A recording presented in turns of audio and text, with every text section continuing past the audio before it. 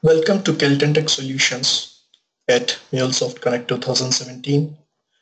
In this video demonstration, I'm going to show you how to import an email attachment using POP3 connector of MuleSoft, convert the email attachment contents into an XML document, log the XML content into the MuleSoft console, and also place the contents of the XML document as a file into the file system.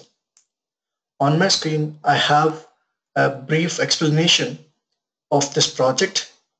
The flow is depicted in this picture, wherein I have a POP3 connector uh, as an inbound endpoint for this flow, which is going to monitor a specific email account mailbox for any emails with attachments the contents of the email are further processed to you know as to convert it into payload and that payload is in turn converted into an XML file using the data mapper.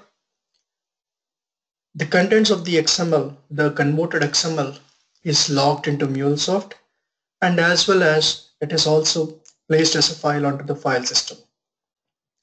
Let's go to MuleSoft Designer Anypoint Studio and see how this application behaves when I try to run the service.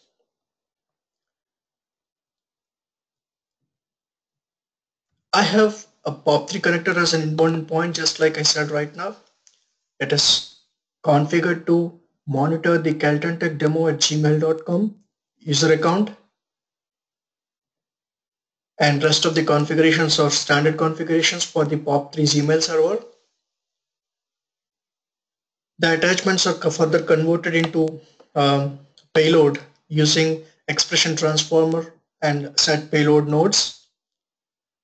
At this point of uh, the flow, we have the XML or CSV payload in the MuleSoft Exchange, uh, sorry, MuleSoft, and that CSV file is converted into XML using the data mapper.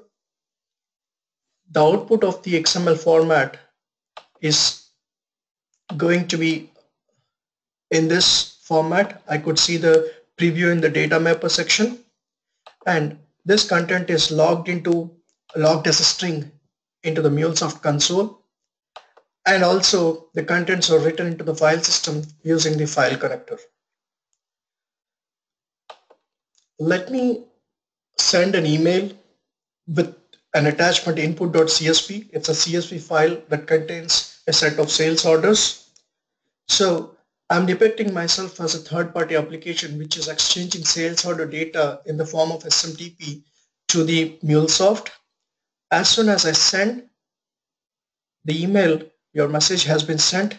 I'm expecting the MuleSoft process to be kicked off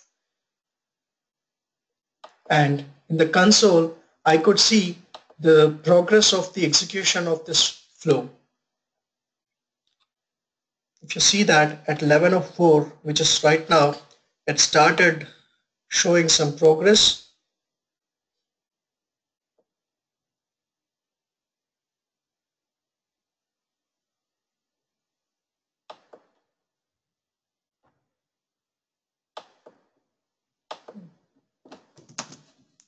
Yes. If you see that the email attachment has been picked up by the process and it got converted into the XML format at 1104. So this is the XML file. We just logged that contents into um, MuleSoft console using this logger node. So we are able to see the log message on the screen itself. Also, this file connector is used to log the contents into uh, the file on this location. So let's go to that specific folder in my workspace, email attachment to XML demo, source, test, resources, output. If you see that at 1104, my orders.xml file got created. If you want to view the contents of it, which are exactly similar to what got showed, what was showed in this MuleSoft console. I hope this gives how we can leverage the MuleSoft functionality for this integration. Thank you.